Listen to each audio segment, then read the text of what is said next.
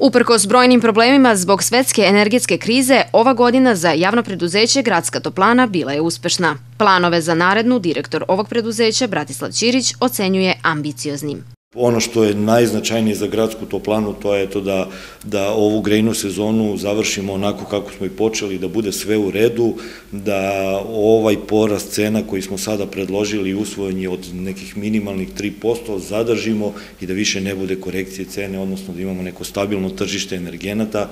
Naravno, planirali smo i jedan dobar nivo investicija, radit ćemo i na novim toplovodima, radit ćemo i na rekonstrukciji nekih starih toplovoda koji smo mi procenili da su slava tačka, ulagat ćemo u podstanice, probat ćemo da završimo ovaj projekat e, skala sistema.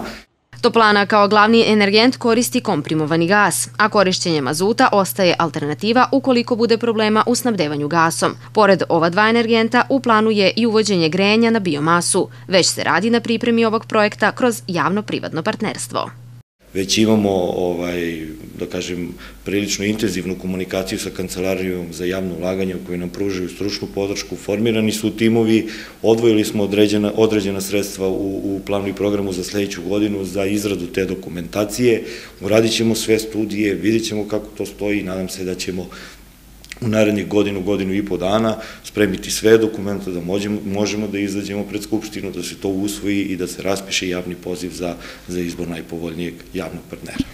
Za novogodišnje i božićne praznike Toplana će raditi produženo.